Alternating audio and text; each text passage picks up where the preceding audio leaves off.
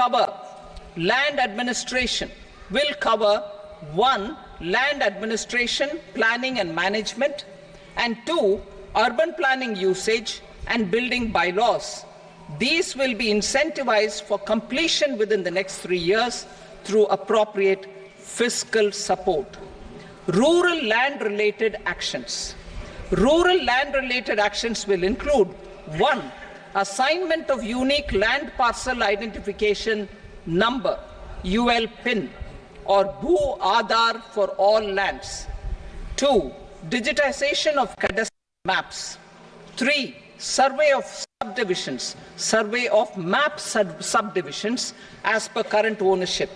Four, establishment of land registry. And five, linking to the farmers registry. These actions will also facilitate credit flow and other agricultural services. Urban land related actions. Land records in urban areas will be digitized with GIS mapping. An IT based system for property record administration, updating, and tax administration will be established. These will also facilitate improving the financial position of urban local bodies. Labor related reforms, services to labor. Our government will facilitate the provision of a wide array of services to labor, including those for employment and skilling. A comprehensive integration of e-Shram portal with other portals will facilitate such one-stop solution. Open architecture databases for the rapidly changing labor market, skill requirements, and available job roles, and a mechanism to connect job aspirants with potential employers and skill providers will be covered in these services. Shram Suvidha and Samadhan portal. Shram Suvidha and Samadhan portal will be revamped to enhance ease of compliance for industry and trade. Capital and entrepreneurship related reforms, financial sector vision and strategy. For meeting financing, financing needs of the economy, our government will bring out a financial sector vision and strategy document to prepare the sector in terms of size, capacity, and skills. This will set the agenda for the next five years and guide the work of the government, regulators, financial institutions, and market participants. Taxonomy for climate finance. We will develop taxonomy for climate finance for enhancing the availability of capital for climate adaptation and mitigation. This will support achievement of the country's climate commitments and green transition. Variable, capital company structure. We will seek the required legislative approval for providing an efficient and flexible mode for financing leasing of aircrafts and ships and pooled funds of private equity through a variable company structure. Foreign direct investments and overseas investment. The rules and regulations for foreign direct investment and overseas investments will be simplified to one, facilitate foreign direct investments, two, nudge prioritization, and three, promote opportunities for using Indian rupee as a currency for overseas investment. NPS Vatsalya. NPS Vatsalya, a plan for contribution by parents and guardians for minors, will be started. On attaining the age of majority, uh, the plan can be converted seamlessly into a normal NPS account. Use of technology. We have successfully used technology for improving productivity and bridging inequality in our economy during the past 10 years. Public investment in digital infrastructure and innovations by the private sector have helped in improving access of all citizens, particularly the common people, to market resources, education, health and services. We will step up adoption of technology towards digital, digitalization of the economy, ease of doing business. For enhancing ease of doing business, we are already working on the Jan Vishwas Bill 2.0. Further, states will be incentivized for implementation of the business reforms action plans and digitalization. Data and statistics for improving data governance, collection, processing and management of data and statistics, different sectoral ba- databases, including those established under the Digital India mission, will be utilized with active use of technology tools. New pension scheme. The committee to review the NPS has made considerable progress in its work. I am happy to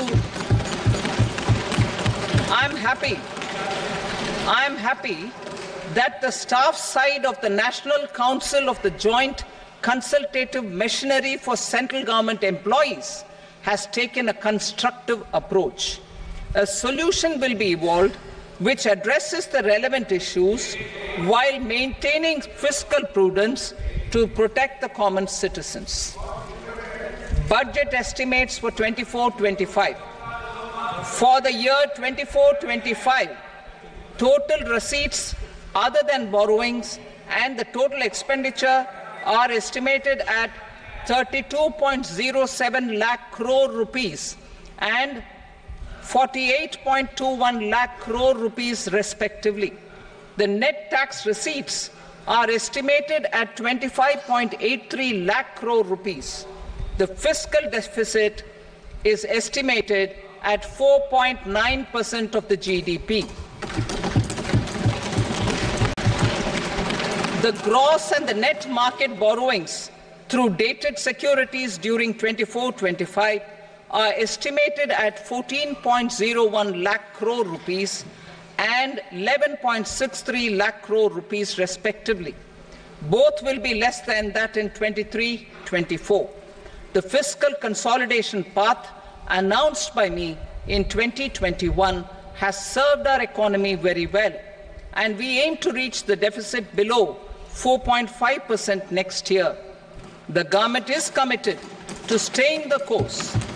From 2026 27 onwards, our endeavor will be to keep the fiscal deficit each year such that the central government's debt will be on a declining path as percentage of GDP. I will now move to part B.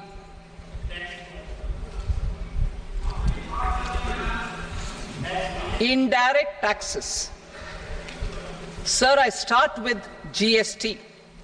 It has decreased tax incidence on the common man, reduced compliance burden and logistics cost for trade and industry, and enhanced revenues of the central and the state governments. It is a success of vast proportions. To multiply the benefits of GST, we will strive to further simplify and rationalize the tax structure and endeavor to expand it to the remaining sectors.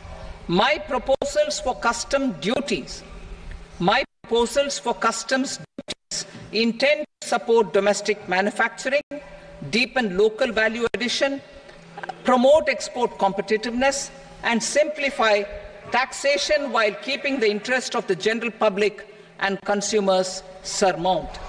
In Budget 22-23, we reduced the number of customs duty rates.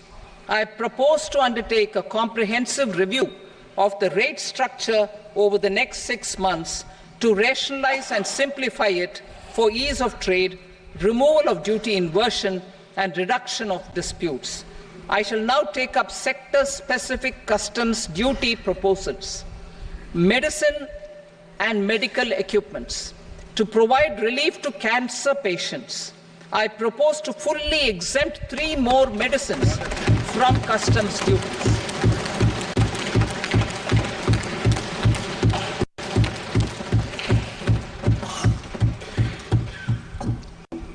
I also propose changes in the BCD on X ray tubes and flat panel detectors for use in medical X-ray machines under the phased manufacturing program so as to synchronize them with the domestic capacity addition. Mobile phone and related parts.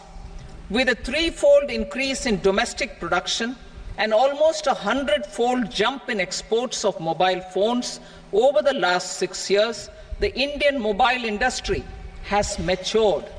In the interest of consumers, I now propose to reduce the BCD on mobile phone, mobile PCBA, and mobile charger to 15%.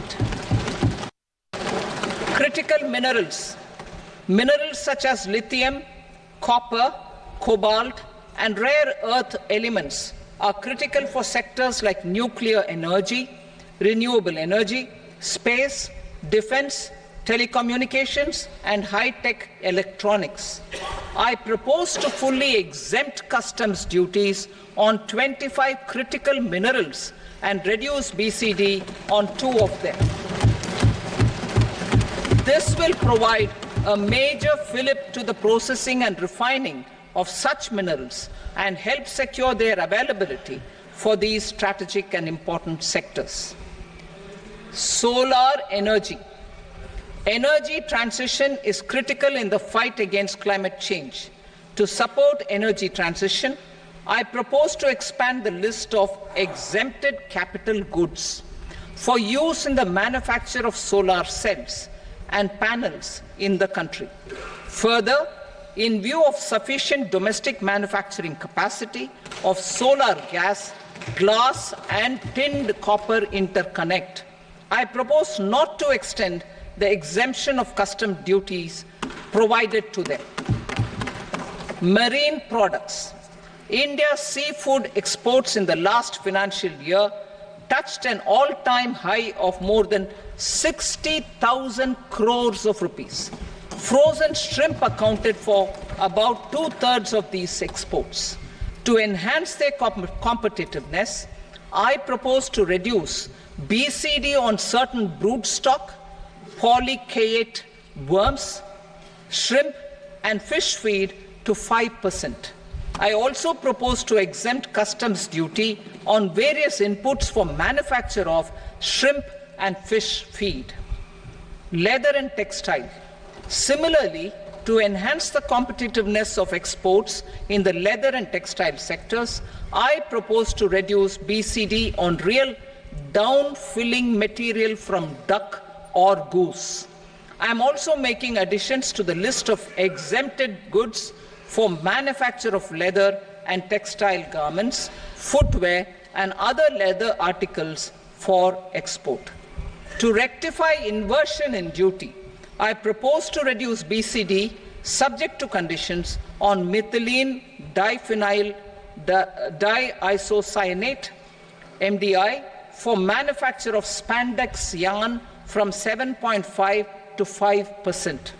Furthermore, the export duty structure on raw hides, skin, and leather is proposed to be simplified and rationalized. Precious metals.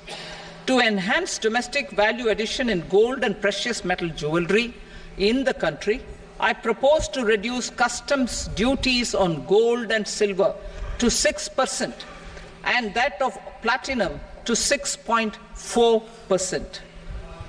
Other metals, steel and copper, are important raw materials. To reduce their cost of production, I propose to remove the BCD on ferronickel and blister copper. I am also continuing with nil BCD on ferrous scrap and nickel cathode and concessional BCD of 2.5% on copper scrap. Electronics. To increase value addition in the domestic electronics industry, I propose to remove the BCD subject to conditions on oxygen free copper for manufacture of resistors. I also propose to exempt certain parts for manufacture of connectors. Chemicals and petrochemicals. To support existing and new capacities in the pipeline, I propose to increase the BCD on ammonium nitrate from 7.5% to 10%. Plastics, PVC flex banners are bio, non-biodegradable and hazardous for environment and health. To curb their imports, I propose to raise the BCD on them from 10 to 25 percent. Telecommunication equipment. To incentivize domestic manufacturing, I propose to increase the BCD from 10 to 15 percent on PCBA of specific, specified telecom equipment. Trade facilitation. To promote domestic aviation and boat and ship MRO, I propose to extend the period of ex- period for export of goods imported for repairs from six months to one year. I'll read that again. To promote domestic aviation and boat and ship maintenance, repair, and operations, I propose to extend the period for export of goods imported for repairs from six months to one year. In the same vein, I propose to extend the time limit for re-import of goods for repairs under warranty from three to five years. I now move to direct taxes. We will continue our efforts to simplify taxes, taxes improve taxpayer services, provide tax certainty, and reduce litigation while enhancing revenues for funding the development and welfare schemes of the government. It, is, it has been our endeavor to simplify taxation. We have taken a number of measures in the last few years, including introduction of simplified tax regimes without exemptions and deductions for corporate tax and for personal income tax. This has been appreciated by taxpayers. 58% of corporate tax came from the simplified tax regime in the financial year 22-23. Similarly, as per data available till now, for the last fiscal, more than two-thirds have availed the new personal income tax regime. Comprehensive review of the Income Tax Act. I am now announcing a comprehensive review of the Income Tax Act 1961. The purpose is to make the Act concise, lucid, easy to read, and understand. This will reduce disputes and litigation, thereby providing tax certainty to the taxpayers.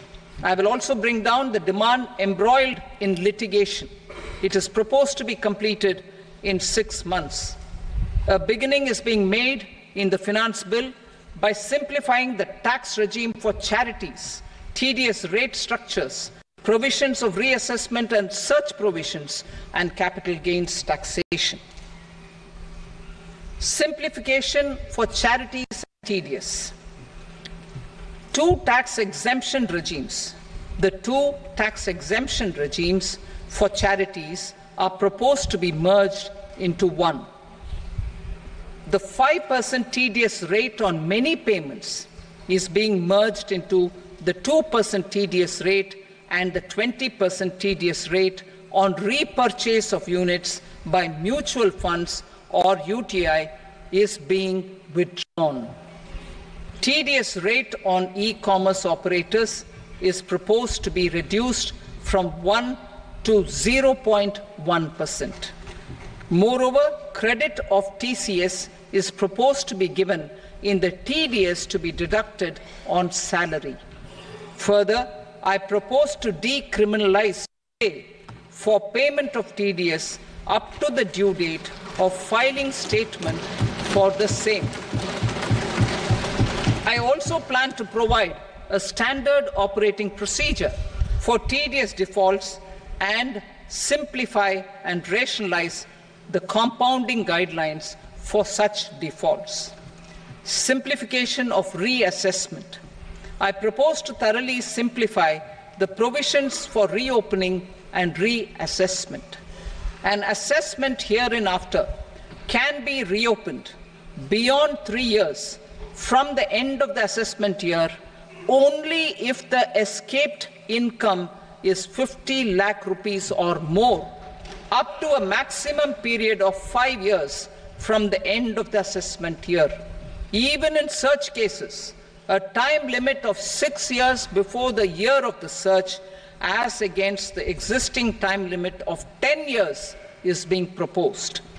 This will reduce tax uncertainty and disputes. Simplification and rationalization of capital gains. Capital gains taxation is also proposed to be hugely simplified. Short term gains on certain financial assets shall henceforth attract a tax rate of 20%, while that on all other financial assets and all non financial assets shall continue to attract the applicable tax rate. Long term gains on all financial and non financial assets, on the other hand, will attract a tax rate of 12.5%. For the benefit of the lower and the middle income classes, I propose, the, I propose to increase the limit of exemption of capital gains on certain financial assets to 1.25 lakh rupees per year. Listed financial assets held for more than a year will be classified as long term, while unlisted financial assets and all non financial assets will have to be held for at least two years to be classified as long term. Unlisted bonds and debentures, debt mutual funds, and market linked debentures, irrespective of holding period, however, will attract tax on capital gains at applicable rates. Taxpayer services. All the major taxpayer services under GST and most services under customs and income tax have been digitalized. All remaining services of customs and income tax, including rectification and order giving effect to appellate orders, shall be digitalized and made paperless over the next two years. Litigation and appeals. While our concerted efforts to reduce pendency of appeals at various appellate fora are beginning to show good results, it will continue to engage our highest attention. To dispose of the backlog of first appeals, I plan to deploy more officers to hear and decide such appeals, especially those with large tax effect. For resolution of certain income tax disputes pending an appeal, I am also proposing Vivad Se Vishwas Scheme 2024. Further, I propose to increase monetary limits for filing appeals related to direct taxes, excise, and service tax in the tax tribunals, high courts, and Supreme Court to 60 lakh rupees, 2 crore rupees, and 5 crore respectively with a view to reduce litigation and provide certainty in international taxation, we will expand the scope of safe harbor rules and make them more attractive. We will also streamline the transfer pricing assessment procedure. Employment and investment. I have a few proposals to promote investment and foster employment. First of all, to bolster the Indian startup ecosystem, boost the entrepreneurial spirit, and to support innovation. I propose to abolish the so called angel tax for all classes of investors. Second, there is tremendous potential for cruise tourism in India. To give a fillip to this employment generating industry, I am proposing a simpler tax regime for foreign shipping companies operating domestic cruises in the country. Third, India is a world leader in the diamond cutting and polishing industry, which employs a large number of skilled workers. To further promote the development of this sector, we would provide for safe harbor rates for foreign mining companies selling raw diamonds in the country. Fourth, to attract foreign capital for our development needs, I propose to reduce the corporate tax rate on foreign companies from 40 to 35 percent. Deepening the tax base. I have a couple of proposals for deepening the tax base. First, security transaction tax on futures and options of securities is proposed to be increased to 0.02% and 0.1% respectively. Second, for reasons of equity, I propose to tax income received on buyback of shares in the hands of recipients. Other proposals to improve social security benefits, deduction of expenditure by employers towards NPS is proposed to be increased from 10 to 14 percent of the employee's salary. Similarly, deduction of this expenditure up to 14 percent of salary from the income of employees in private sector, public sector banks and undertakings opting for the new tax regime is proposed to be provided. Indian professionals working in multinationals get ESOPs and invest in social security schemes and other movable assets abroad. Non reporting of such small foreign assets has penal consequences under the Black Money Act. Such non reporting of movable assets up to 20 lakh rupees is proposed to be depenalized. Other major proposals in the finance bill relate to withdrawal of equalization levy of 2%, expansion of tax benefits to certain funds and entities in IFSCs, and immunity from penalty and prosecution to Benamidar on full and true disclosure so as to improve conviction under the Benami Transaction Prohibition Act 1988. Personal income tax. Coming to personal income tax rates, I have two announcements to make for those opting for the new tax regime. First, the standard deduction for salaried employees is proposed to be increased from 50,000 to 75,000 rupees.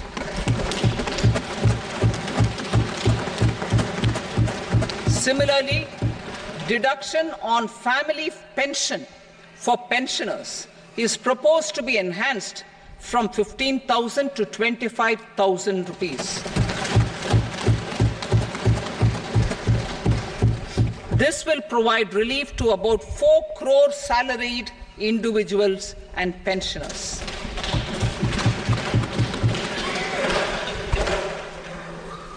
Second, in the new tax regime, the tax rate structure is proposed to be revised as follows 0 to 3 lakh rupees, nil. 3 to 7 lakh rupees, 5%. 7 to 10 lakh rupees, 10%.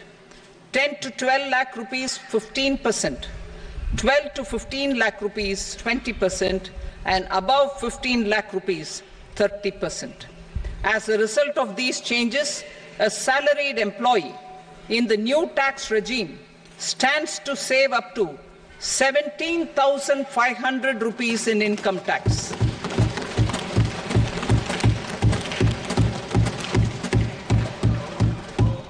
Apart from these, I am also making some other changes as given in the annexure. As a result of these proposals, review of about 30 revenue of about 37,000 crore, that is 29,000 crore in direct taxes and 8,000 crore in indirect taxes will be foregone, while revenue of about 30,000 crore rupees will be additionally mobilized. Thus, the total revenue foregone is about 7,000 crores annually. Mr. Speaker, sir, with this, I commend the budget to this august House.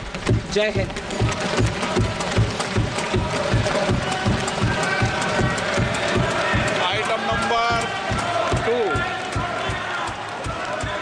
Item number two.